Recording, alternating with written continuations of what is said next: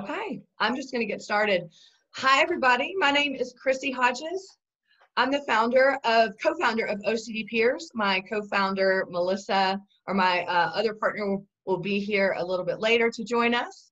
I'm gonna keep an eye on um, everybody joining. This is gonna be recorded. If you don't want to be on camera, um, or if you don't want to be part of the recording, please feel free to turn your camera off. Um, just really quickly before we get started, we're really excited to have Michael here today. I know that everybody's gonna have a lot of questions. Um, just wanted to tell you really quick, OCD Peers is a virtual uh, group practice for strictly peer support. We offer themed groups, catch-all groups. We do have a therapist that's also a peer, and she offers some skills building groups. Neil Hemmer, who's up there on the top, he's one of our peers. Brennan, who's in the middle, she's an assistant to OCD Game Changers. Michael Greenberg, we will introduce here in a moment. And then Chance McNeely is also a peer with OCD Peers.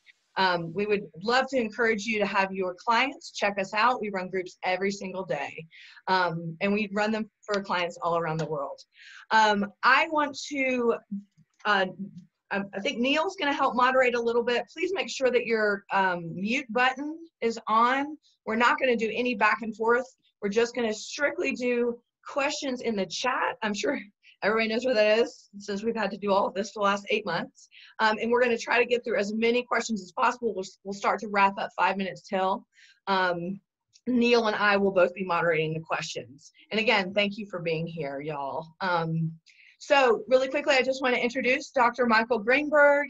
Um, Michael made a big splash on the on the scene when he had the OCD Stories podcast. There have been there's been a lot of really awesome uh, things I know that we need to talk about and questions, clarifying questions you ask. And Michael, I just want to personally tell you, your work on rumination has been a game changer in my life as someone with OCD. And I just want to tell you how honored I am to have you here today um, and to just call you a colleague and friend. So with that, um, let's feel free to start getting your questions right now into the chat. We'll get started as soon as possible. Michael, do you want to quickly introduce yourself? Um, well, I think you did a good job. Hi, I'm Michael. I um, suffer with OCD for many years, as I said on the podcast. And so this is uh, just very, very personal to me. All right. Well, um, Neil, you're ready to go. I don't see any questions just yet, so y'all y'all get y'all get to asking. Michael, is there anything you want to clarify that you've heard that people have had questions, um, in particularly, um, to get started? I'll just let people ask whatever whatever they want to. I don't have to follow the chat, right? You'll no, no, no, no. You just talk. Uh, Neil and I will will be the ones that read the questions off. Um, so Neil, I'll read the first one if we want to just kind of go back and forth. Um, Sounds good to okay. me. Great. Um, in the podcast, you talked about how your approach goes beyond inhibitory learning. Can you speak a little bit more specifically about how your clinic's approach to exposure differs? Okay. What are some of the specific interventions you use in prepping folks for exposure? Okay, so um, my I'm not an expert on inhibitory learning, but my understanding is that inhibitory learning, and correct me if I'm wrong, my understanding is that inhibitory learning is basically saying uh, that a person is having a learning experience that goes against prior learning experiences. So it like disconfirms an expected outcome. So if you think about that broadly enough, then you could say that everything we're doing is inhibitory learning. And any time that somebody, like for example, if we said somebody thought that they would be anxious after they did an exposure, and then we had them not ruminate, and so they weren't anxious, and so that is an experience that competes with their expectations, you could call everything inhibitory learning that we're doing.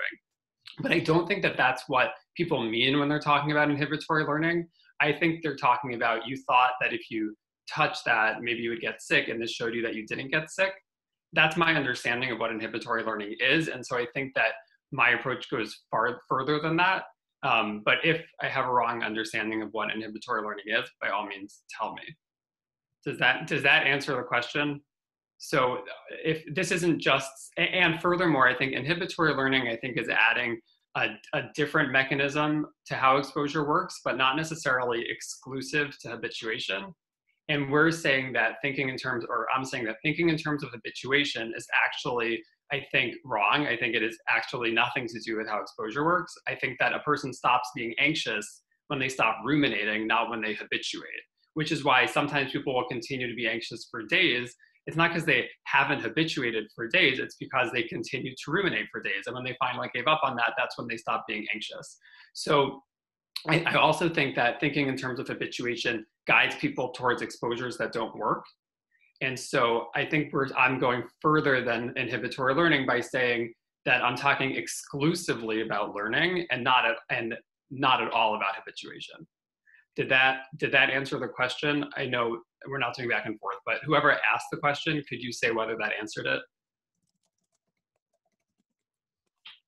Is is that okay for me to? I know we're not supposed to do back and forth. Is that okay? Yeah, I, I think that's that's useful. I guess I'm wondering kind of about some of the specific mechanisms in terms of how you lead clients through exposures that is maybe a little bit different and and you're starting to kind of allude to some of those those could you, could you give me a specific example so i can tell you what it would look like if i were doing it yeah so like um, for example i will have clients and and your work on rumination has been so helpful. I send so many of my people your your blog posts on on rumination because uh, it's just so so useful to get the conversation started.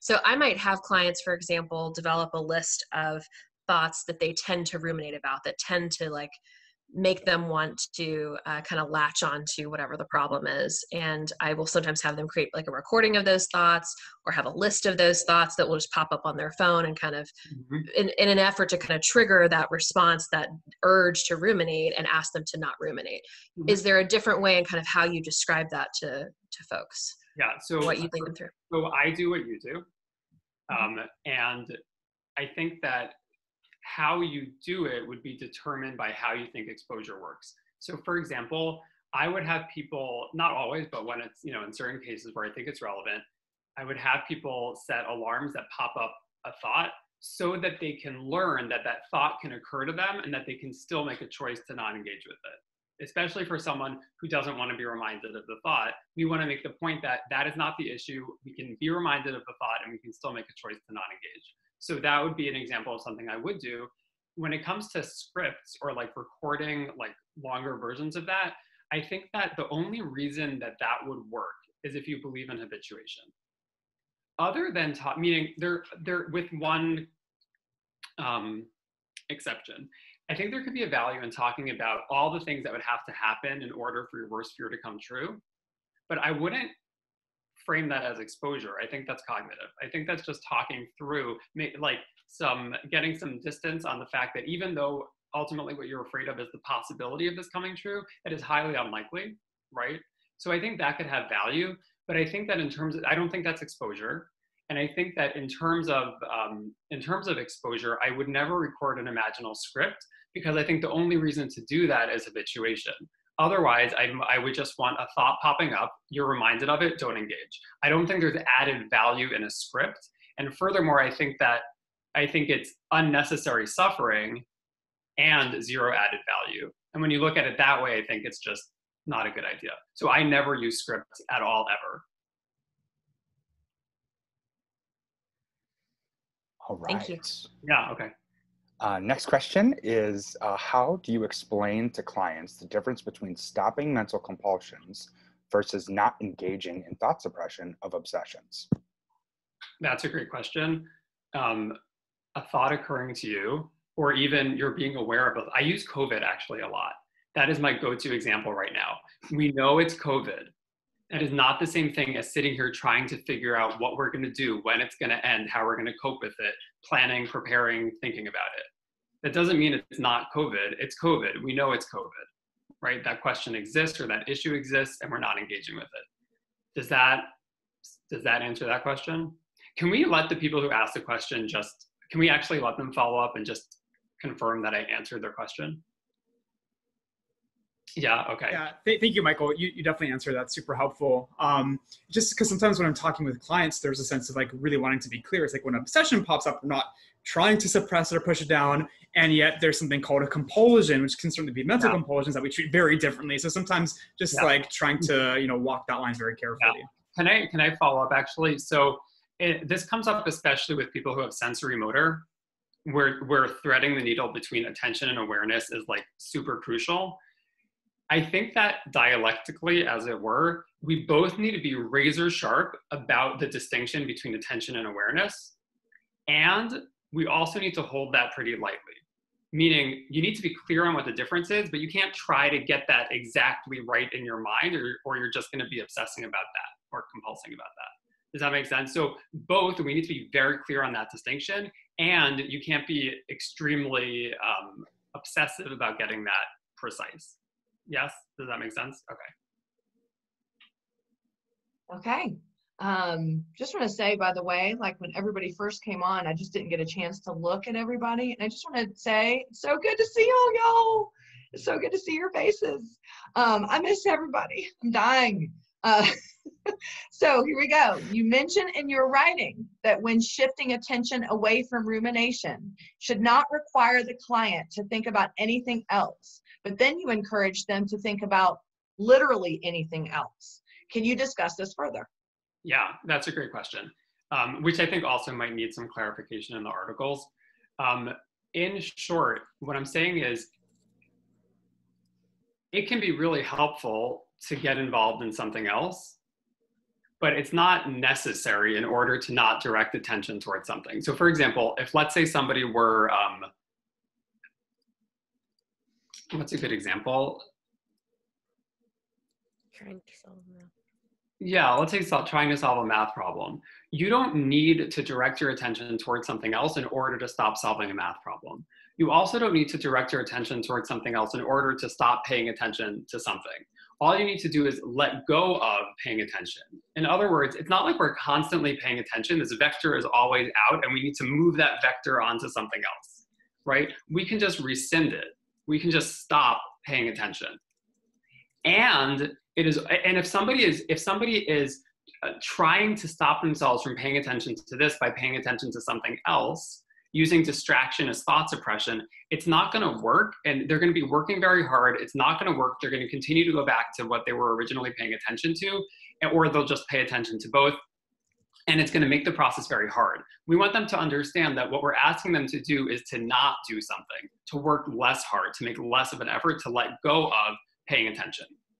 And once they understand that, it is also the case that it's much easier to do that if you go get involved in something else. Does that make sense? Whose question was that? Uh, that was mine. Did that answer the question? Yeah, when when you discuss it, it sounds like it's you're you're asking people. It, it sounds like thought stopping and and and um, uh, uh, thought suppression. It also seems like it creates a thought vacuum in a sense where it almost sounds like these those two ideas they need to happen together.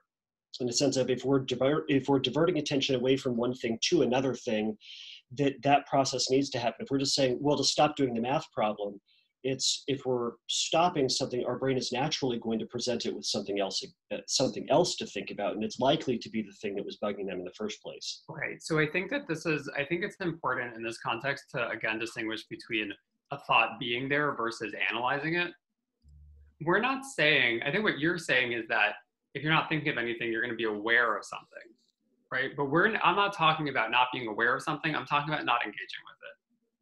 So for example, sorry, go ahead. Oh no, I, yes, yes, I'm, I'm agreeing with you. Okay. So, um, so what we're saying is not that thought suppression is only when you're trying to push something out of your awareness. I don't want to know that it's COVID, right? Like that that doesn't you can't do that because and not for any fancy reason but for the very obvious face valid reason that if you were try if you were saying i don't want to think about something you are literally thinking about it in the process of nothing right? That's obvious. So we're not ta- that's thought suppression. If i said I, I don't want to know it's covid right now that's thought suppression. But it is covid but i'm not going to sit here engaging with that or thinking about that right that's not thought suppression. I'm aware of it, I'm just not engaging.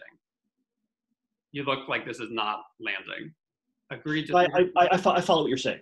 Sorry, I got distracted by a text from the missus. Oh, okay, no, that's fine. That's fine. I just I thought maybe I wasn't answering your question. No, no, no. So, um, so what we're what I'm saying is that in order to not engage with thinking about COVID, you don't need to go start planning your vacation it's not like you need to actively direct your attention towards something else in order to not be ruminating about COVID.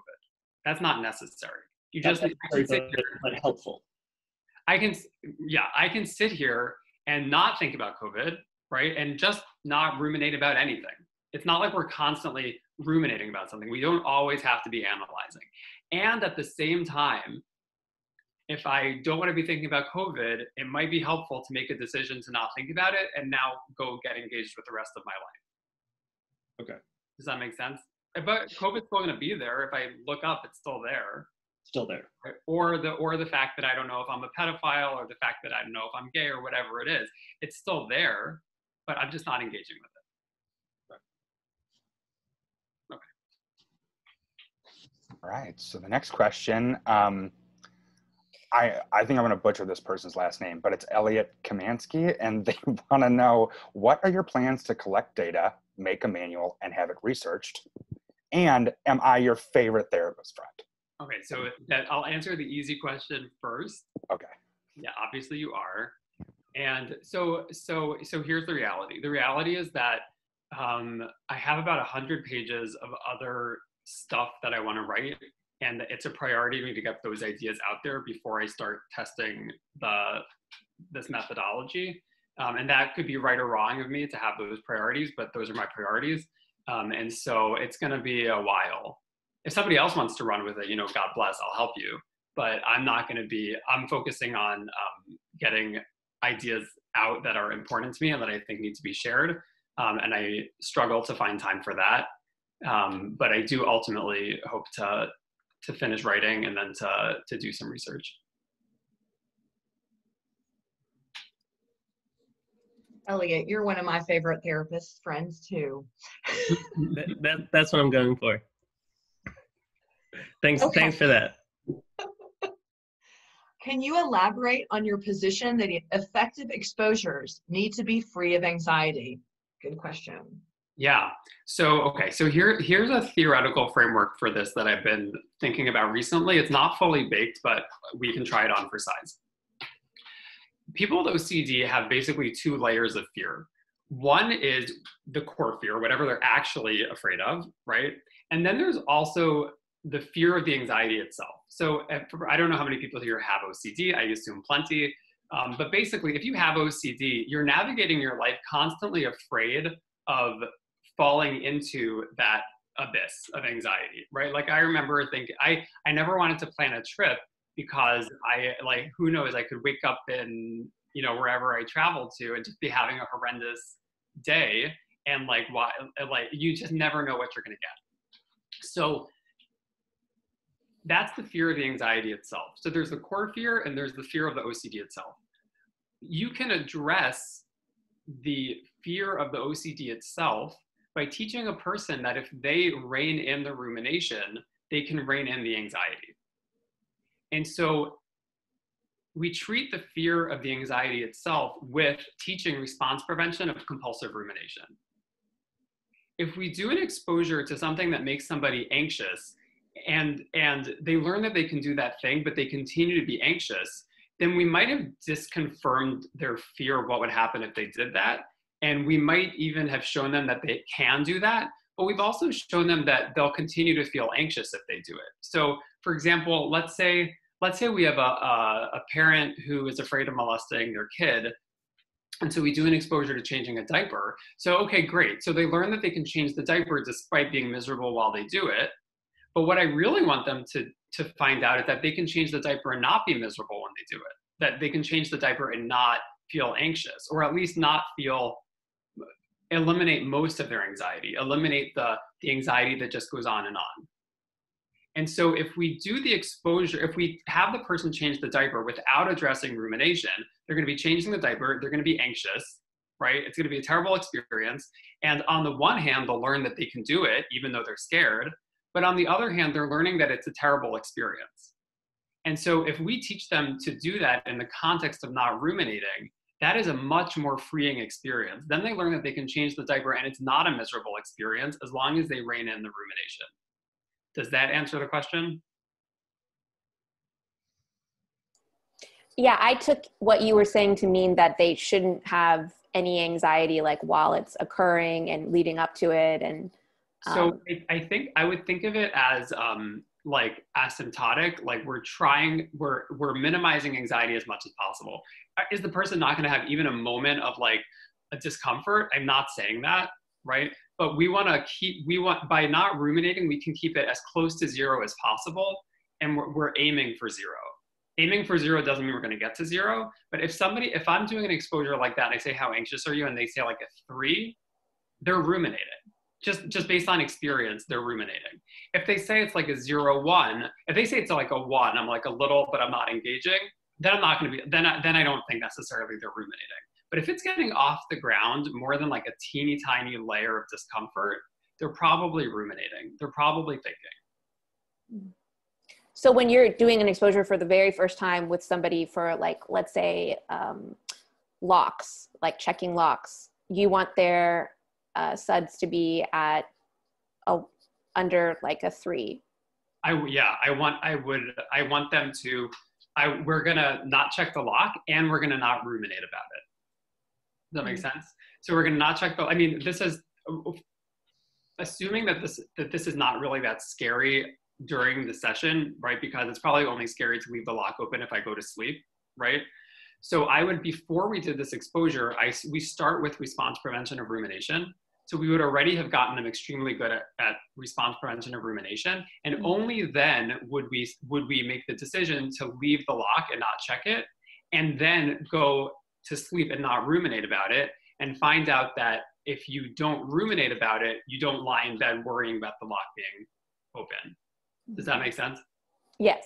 So okay, so so we start. So before we got to that exposure, we would have started with rumination. This person would already be expert at reining that in, and then we would do the exposure in the context of not ruminating, right? Because otherwise, this person might learn, yeah, I can leave the lock open, but then I lie in bed and I can't sleep because I'm so anxious.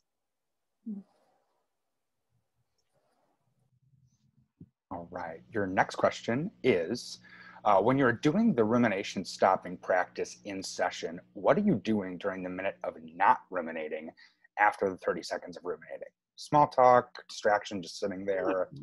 Whatever, whatever feels like it makes sense. Like pr- probably not not doing anything that's distracting on purpose, but like maybe it's uh, if this is a person if this is a person who tends to use distraction, then they might need to really sit there and do nothing and learn that they cannot do anything. If this is a person who's not like that and they want to like do something else or go on their phone, I, I, then I don't care. It depends on the person. If this is a person who is constantly ruminating while they're, you know, I don't know, reading, then maybe they maybe they'd read. It depends on the context. Most of the time, probably doing nothing. Um, but it dep- if there's a reason to do something else, then we might do something else, like in the context of the case. Does that make sense? That was like a non-answer. Yeah, probably nothing, but sometimes something. That, that was my question. And uh, no, I think you, you answered it. Part of the reason I asked is because what I picture w- with someone at home is what you're going to do when you're not ruminating is whatever the next right thing in your life is to do. It might be wash a dish or like, you know, water a plant. But Mhm. in session, like it's to me, it, Oh. it feels harder to construct what that minute Yeah. is. So actually, so actually, I'm glad you asked that. So I would not say that. I, and I think that what I want them to do when they're not ruminating is I don't care. They don't need to go the valued valued actions, right? Like ACT stuff. I think as people know and don't like, I hate ACT. Like like I literally just the word makes me shake. I think it is like horrible. I think it makes people sick. And so value I do I do not think that you need to do valued actions in order to not do a compulsion you do not need to be an especially good person or even an especially you know values driven person to not have ocd you can do whatever the hell you want you can go watch porn you just can't ruminate Thank you. Very helpful. Thank you. All right. Um, so how is not engaging in a thought different than avoiding it or suppressing it? Great question. um covid right the, the, did, did this person whoever asked this question did the covid example already answer it or do you want me to address it again So I think my struggle, wh- where I'm, I guess where I'm struggling, and it relates to my second question as well, is like I hear completely what you're saying, which is that like we can't do exposures if patients are ruminating, right? We know that. That's really exposures without response prevention. And so I think I'm struggling with how not engaging in rumination is any different than traditional ERP because it's it's really right the goal of ERP whether you're doing an outward compulsion or rumination like you have to stop that in order for it to be successful but early on I heard you speak a little bit about you know it's really about just kind of like the thoughts they are not engaging in at all, right? Where traditional ERP, we actually want to engage with thought and encourage you not to engage in your response so that we can change the Mhm. relationship with the behavior. And I worry that patients could turn this into avoidance, right? Of like, let me push it down, let me suppress it. And and that just allows it to continue to be there. Okay, so there were like three different questions Sorry. there. No, no, that's okay, but I want to take them one at a time. And if I miss any of them, what, like tell me. Okay. So um, let me just pin it. One, two, three. Okay.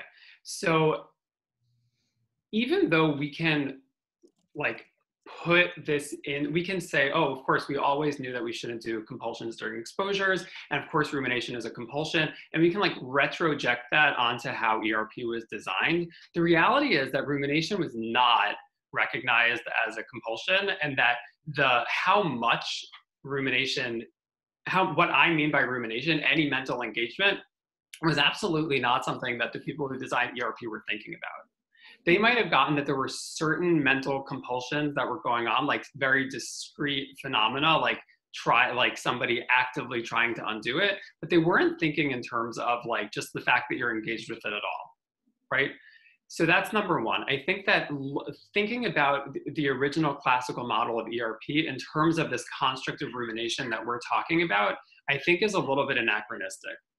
So I think that we can rethink ERP in terms of rumination, but I don't think it's the case that this was on the radar. Uh, at least this I, this conceptualization of rumination was on the radar of the people who were designing it originally. That's first of all. So second of all, let me just remember what we we're talking about. Oh, um,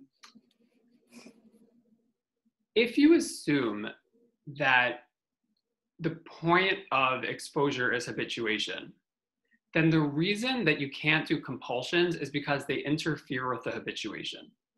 That means that response prevention facilitates the exposure, but the mechanism of action is the habituation. The way that I think not just I'm thinking about exposure, but the field is moving towards thinking about exposure, and especially in terms of inhibitory learning, is that ex- habituation, if habituation is out of the picture, it's no longer the case that response prevention facilitates exposure. It's actually the case that exposure facilitates response prevention. In other words, when you take habituation out of the picture, the only reason you're doing an exposure is so the person can learn to do response prevention. Does that make sense? It's, it sounds like it's only subtly different. It's actually completely different, and it radically changes how you do the exposure. So this is where imaginal scripts are the best example of this. An imaginal script only makes sense if you're thinking in terms of habituation if the only point of an exposure is to not do a compulsion, then all you need is enough to make the person anxious and then practice not doing the compulsion. And so an imaginal script has nothing over just a reminder of the thought. Does that make sense? You look like this is not like I'm not answering your question. So go ahead. No, no, you're answering it. I follow totally. I think I think I struggle more with the thought process that rumination wasn't a big piece of original ERP and the constructs that most of our clinics like focus on and and i think my second piece i'm just still struggling with candidly as someone who's also lived with ocd for many years is the concept of like like i guess i i would really be curious to ask you so like there's never been exposures that you've done that are effective that raised your anxiety above a one and like so i'm just i'm struggling with that fundamentally because i can't totally. Yeah. Okay. So so two separate questions. So I'm going to answer the second one first. The question isn't whether the exposure was effective. The question is how is it effective? So for example, if I'm somebody who's scared of let's use the diaper example again. If I'm somebody who is terrified, I feel like I cannot change the diaper because I'm so scared and I do the exposure and I'm at a 10 the whole time, right? Is that exposure effective? Partially. It is partially effective. If I previously didn't think that I could change a diaper and now I can change a diaper, we have freed me up tremendously, right? Now I can change diapers. So it was effective. but I think that it wa- I think that it could be more effective or differently effective or teach something more or get a person even better if we did that in, res- in the context of not ruminating. Then it would be not only that you can change a diaper, but you can do it and not be freaked out the whole time. totally and but but i mean i think that's where i yeah totally I, I completely agree but i think that's that's how i've always viewed erp right is that if Mhm. somebody's anxiety stays high i agree like that's usually an indicator for me of like we're doing something wrong like the exposure isn't working if your anxiety is still a 10 the whole time because you're probably doing some type of mental ritual I'm assuming that what you mean is if it's a 10 the whole time meeting, if it doesn't come down in a curve the way I, I'm assuming you were trained like I was trained, which is that we expect it to be high at the beginning, and then the more you keep on doing it, the more it comes down because you're getting used to it. Is that how you were trained to think? and and i think i focus a ton um, you know chrissy and lots of people's work on mental rituals i think has really brought to light like i focus so much on rumination and mental rituals because as someone who lives with ocd we know how much it plays a role in Mhm. So I think that you, it might be the case that you intuitively and based on your own personal experience, like me, sort of came to similar conclusions and incorporated it into your work. That's not the same thing as saying that the original, like, everyone was trained that way sure Yeah, that's okay not. i appreciate that Like if you look at the actual, I have the manual from Penn on my shelf, and like that's not actually, it doesn't talk about it. I think you just gotten there on your own, is my guess. Hmm. Is that yeah? So just for the sake of time, um, we, we, we are going to come back to the second question down below, uh, Dr. McIngvale, but we're going to move on to the next question. We're good with all of them thank you they were all addressed Cool. Okay. All right. Your next question, sir, is can you talk about your concern with externalizing anxiety, especially with kids, if the child understands that their character is the initial obsession and not the continuation of the thoughts? Does that resolve the concern about using an externalization character? Mhm. Therefore, the child would still have a sense of agency over the choice to engage with the worry character thought. Okay. Um, first of all, I think the answer, broadly speaking, is yes. I think that that would address the concern. Um, I don't, this is, you know, I have a pretty hard line on ACT. I don't have such a hard line on this. I don't like externalizing. I don't like a lot of the ways that people externalize, but I don't, I don't think it's like the most devastating thing in the world if you teach a seven-year-old about a worry monster. Does that make sense? I don't think, I think that it misses an opportunity to normalize certain things. I think it misses an opportunity to, um, to teach certain things and to restore even more agency. I don't think we're necessarily making somebody sick by doing this though. But I, I think that it depends how it's done. And I'm sure that nobody here is doing it in a really, you know, misguided way. But there are some people who are like, like I, let's say for example I, I like they they sort of take this is i think some they, they take like an, ex, an uncomfortable experience that somebody is having and they just chalk it up to it's ocd as opposed to like no that's an experience you're having. That makes sense? Like or that's a worry that you have or i i want to use let's say for example let's use groinal responses as a, as a really good example of this as somebody who has had groinal responses, I'm sure many people here, Chrissy said groinal, groinal responses. Okay, so we could say, oh, this is your OCD, right? Your OCD is causing you to have a groinal response, which by the way, like for all that we might want that to make somebody feel better, it doesn't really, because they're like, but what if it's not, right? Okay, so uh, what if we said, this is just a human experience? People have feelings of arousal or feeling down there that is you know uncomfortable or things something that do- doesn't match how they like to think about their sexual orientation or whatever right?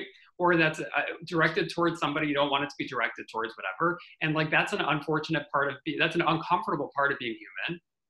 And your job is to not get stuck analyzing that right?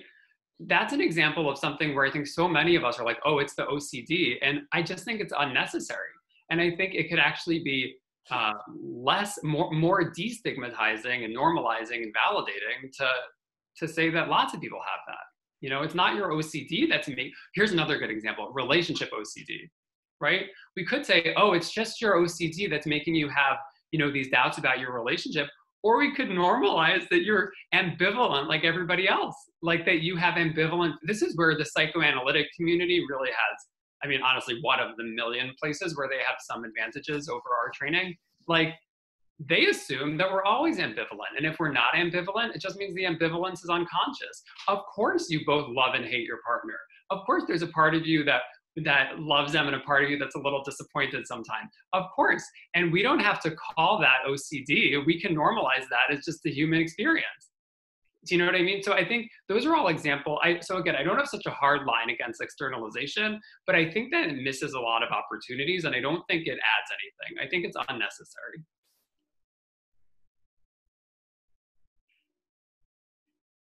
Does yeah, whoever I don't know whose question it was, but did that answer the question? Thank, thank you. I appreciate that. We're going to talk more about this next month when you and I talk.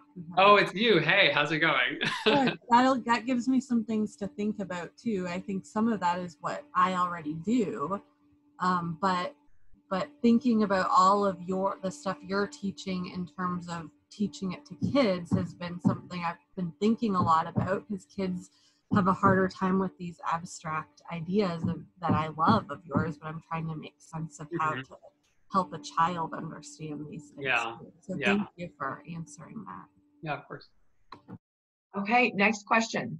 I'd love to hear other tangible examples beside the math problem. I think, and my patients have mentioned, that many people would continue to mentally solve the math problem even if they weren't looking at it. I do like the example of the text dinging and not even looking at the message. Okay. So the question was just like, can I give other metaphors? Is that it? Yeah. Mm, I can clarify it with my question. So basically, I mean, you use that as an example a lot and you're right in some of the things that I've read on your, you know, your articles on your site. And when and when talking about it with patients, like they also are like, well, that's not just as simple as putting down the pencil and paper and that you're not standing actually writing on it you know? And so i guess i'm wondering whether you've had success with other like examples or metaphors that that genuinely that like work in most all situations. Mm-hmm. i think what you're saying is um, th- that these people are saying well that's different because it's physical that you could physically put down the pencil whereas this is mental is that the issue no, I'm saying that people would i have i mean certainly mathematicians but also like some of my regular patients they would continue mentally solving the math problem even if they walked away from it so because using that as the example of like if i asked you to stop you know uh, solving the math problem then you would just stop solving it and i guess that's that's mm-hmm. where i'm i mean i understand like if you mm-hmm. Stopped walking on the treadmill but that's not a mm-hmm. mental behavior. Like I'm wondering if there's other mental behaviors that you have examples of that we can easily kind of stop, just like you're saying that we could stop ruminating. So the um, the thing that jumps out at me from what you're saying is the word would that they would keep solving the math problem. I'm saying that they could stop solving the math problem. I'm telling them that even if it doesn't feel like they could like they can stop, they can stop. That's just how brains work. Like it's just not true. Just like I, I sometimes talk about picking your nose. Like it might feel like you can't stop picking your nose because you've been doing it for years, but can you take your finger and it might be very automatic and it might end up in there. But can you take your finger out of your nose? Just yes. Yes, you can. You can take your finger out of your nose and you can also stop solving a math problem. The fact that you might not do that, you know, that's what we have to sort out in therapy, why you're doing it, why you're not making the decision to solve, why you're scared. But it doesn't change the fact that just how brains work is that you can stop solving a math problem, period. Does that make sense? I would just add. Okay, yeah. So, I mean, focusing more on agency, which is, I think, what. Yeah. What I've been yeah. trying to do. Okay. Also, helping them to realize that what they're doing is analytical thinking, which, again, is somebody who's dealt with this. You don't always realize that's what's going on. I, I, would add to that that it's not always analytical thinking, and this is something I need to clean up in my writing. Um, and that is that there is, I think, a, spect- a continuum from awareness, attention, analysis. I think is how I'm thinking about it now. There is this sort of in between space where like you're paying attention to the problem and granted i would argue you're still trying to solve it but you haven't you're not literally sitting there thinking through the things you're just kind of keeping an eye on it right and just like I would tell them, analytical thinking actually you do have control over, well, control over it. I would say the same thing about attention. You think you don't have control over it, but yes, you do. That's how brains work. Yeah, does that answer? the reality is I probably use infinite metaphors. I just cycle through them. Like just anything. You're planning, you know, you're making your shopping list, stop making your shopping list. You're planning your vacation. You're thinking of a like for visuals, right? Because people think that visual, people think that that anybody who says I'm having this very vivid image or this like this whole scene pop into my mind, no, you're not. That's not how that works. You can't do that without trying, right? The most, so I'll tell them, try to imagine, we're gonna sit here and you're not gonna actively imagine a very attractive person, but we're just gonna see if a very attractive person occurs to you. And they find out that unless they literally sit there, like actively thinking about a very attractive person, the most that can occur to them is a very vague, peripheral image, not even image, right? So I think I use all sorts of examples just depending on what who that person is and what's going on. But all of them just get at this idea that a lot of what's going on is something you're doing, not just something occurring to you. Is that, yeah? Okay. Dr. Greenberg, I love how you were like, yes, you can stop your attention. That's how brains work. That's yeah. just, but it's true, but people don't know that. You know, we've spent, we spent decades as a field. I, the, here's the saddest thing. This is, and this is honestly devastating. Like I, I am, I like feel emotional talking about it. If we hadn't taught people about thought suppression for decades and, and given them wrong ideas about exposure and habituation for decades, people would be less sick than they are now.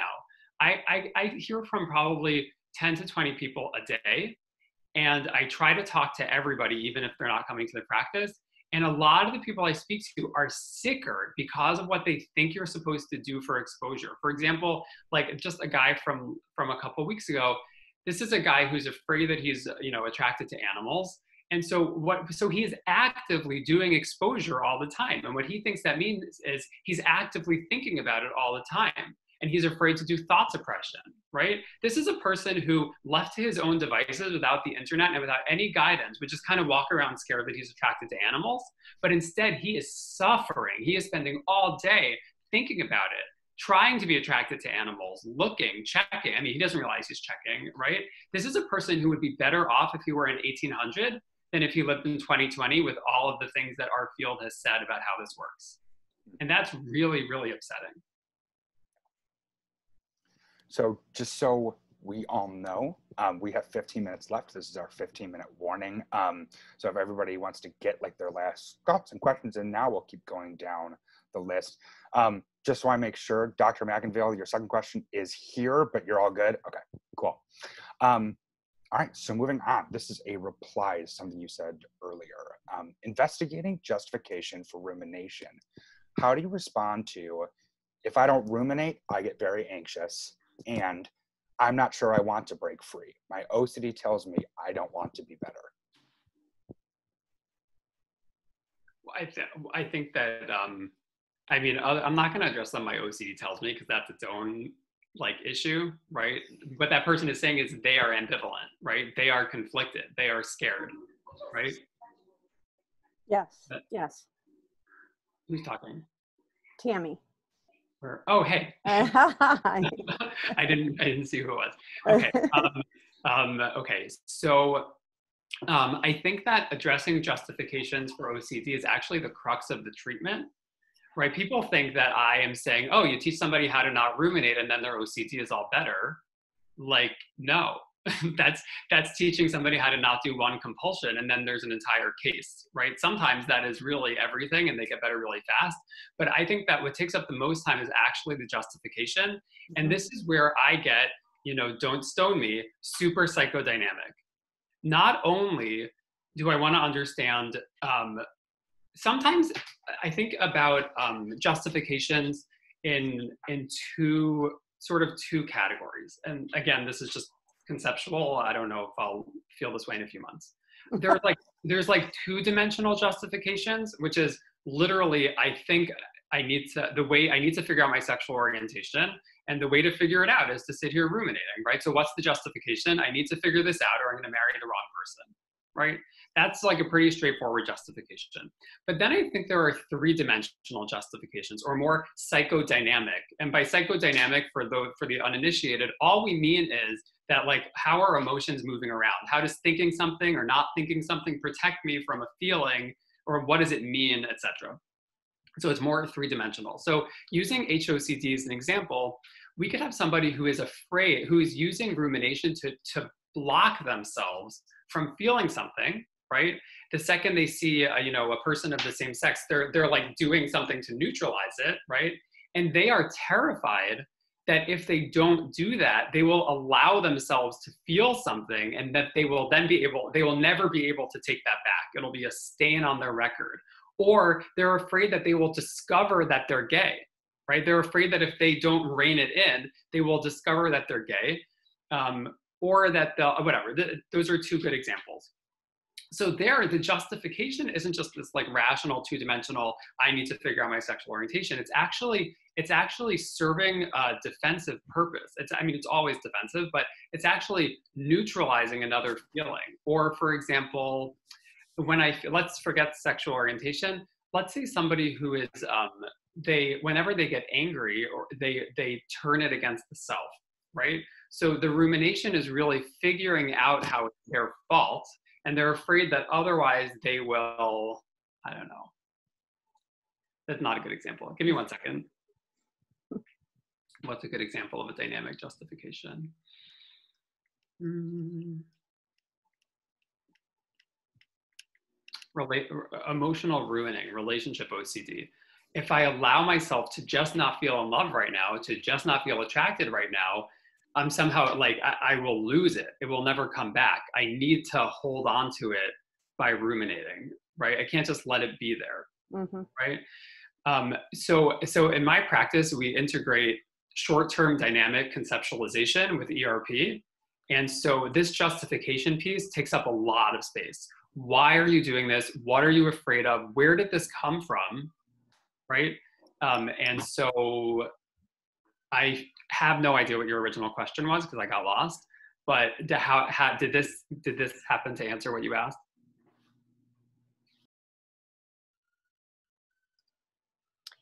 Uh, yes, it answered. Uh, I, I think since listening to your uh, podcast, I so if a client would say to me, um, "I don't I don't want to stop ruminating because I get really anxious, then what I used to say is, oh, good, there's your anxiety. Good, you want that mm-hmm. anxiety. And so now, having listened to your uh, interview, I'm like, oh, wow, this is very different because now you're saying well if you're anxious you're you're ruminating and then when somebody says to me but i don't want to stop ruminating because that's when i do get anxious i just wondered how you would respond yeah. to that okay yeah that's a that's a good question so i think I would first of all want to clarify with this person whether they mean that they're scared not to ruminate, right?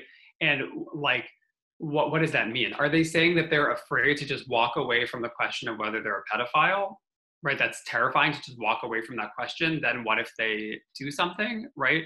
Do they mean that they're actually anxious or do they mean that they're scared of the consequence of not doing that? If somebody says they stopped ruminating but they're still really anxious, I, I would kind of I would kind of help them to realize that that's not happening. They are ruminating, right? They, they are it might be a different form of rumination. It might be now they're ruminating about the fact that they're not ruminating, or maybe now they're what now they're ruminating about what might happen if they don't realize they're a pedophile. They're ruminating. So I would clarify whether they mean that they're prospectively scared uh, to let it go, or whether they mean that empirically, functionally, when they stop ruminating, they're still anxious, in which case I would help them to figure out how they're still ruminating, how they're still engaging with the question. Yeah? Okay. Okay, we're getting to seven minutes. I just want everyone to know seven minutes. So uh, I, okay, making sure that the client is an expert in at reining in rumination. Can you explain more about that process? Yeah. Um, I need more specifics. yeah, uh, sorry, I'm multitasking and trying to type and listen at the same time is not my strong suit. So I just made it really brief. Um, I'm wondering, kind of specifically, Mhm. You mentioned something very interesting, which is that you don't actually encourage someone to go do an exposure like leaving the door unlocked until you have gotten them to be really an expert and you've kind of trained them and coached them through. Can you say more about how you do that and kind of where do you start Yes, with your yes. clients? Mhm. Yeah. We start every case with response prevention. We do like intake, case formulation, case conceptualization. What's the core fear? That's like one first session, maybe second session. And then next step is not exposure. Next step is response prevention. We want this person to know, oh, my computer's gonna die. in One second.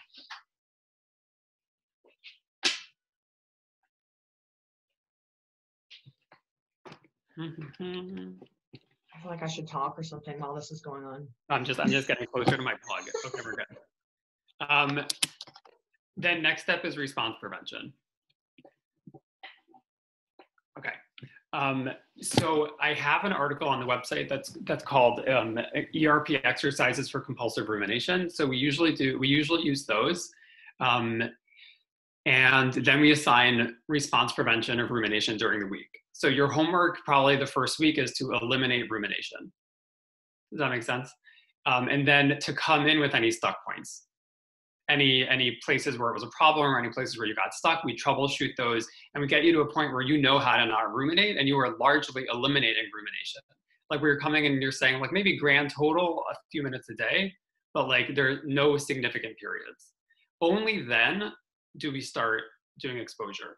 I, I should be clear, it's not quite that um, it's not quite that boundaried, meaning if there are certain things that a person is ready to just let go of without ruminating, then they can start eliminating those. We're not going to say like, no, no, don't, you know, don't eliminate that compulsion until you're ready. But we don't start exposure in earnest. I think that's the better way to say it. We don't start like hardcore doing the things that are really terrifying for you until this person knows how to not ruminate. And I will add that when you eliminate rumination, 95% of the problem is gone before you start exposure. The person is almost better, and exposure is like one, two, because it's easy. It's not scary to let it go when you're not scared of the anxiety itself. Does that make sense? Not in all cases, you know, infinite, there are infinite, um, you know, nuances and variations, but broadly speaking, when you start with response prevention, you, you, you get rid of most of the problem before you even start the actual exposures. Yeah, I would agree. This is actually remarkably similar to my approach as well. So helpful. Boom. Cool. Thanks. I think we probably have time for one question, and, and it's really, really important. I think that we get to this question. Sorry, Neil, I just jumped all over your toes because I know you're supposed to be next. But I know we have a few minutes left, but I really, really, the, the next two questions in a row, I really want you to be able to have the opportunity to answer this. I'm curious about your statement that ACT makes people sick. Perhaps I'm misunderstanding how you view ACT as detrimental. And the next uh, question as well addresses that. And um, I think this is going to be where we do end after this question. Um, and so just want to give you the opportunity to. Mhm, Yeah. Uh, Um, so basically, I got I got an email from somebody. Um, actually, Chrissy, you were CC'd on the email. I got an email from somebody a couple of weeks ago that I thought framed this really well. They said I was at first really put off by what you said about ACT because ACT had really been helpful to me in getting past where classical ERP had taken me. In other words, classical ERP helped me get rid of my physical compulsions, but then I had nothing to do with my rumination, and so ACT helped me with that. And they said, "How much time can I? Do I have time to look up the email and, and read the actual thing that they wrote? Do I have? Why don't you keep talking and I'll look it up? Okay, perfect. Yeah. Okay.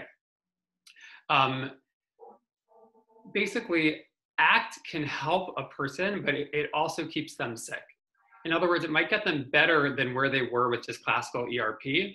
But then I once did a survey of about, I think 10 people responded, ACT providers, on the OCD Specialist Forum, and not a single one of them helped a person to distinguish between a thought occurring to you and compulsive rumination. And when we tell people that they um, shouldn't try to get rid of these thoughts, we are literally telling them that they should that they shouldn't do anything about the rumination. Now, could you? And there's an article on my website that is very nuanced about this, so feel free to check it if you haven't for the details.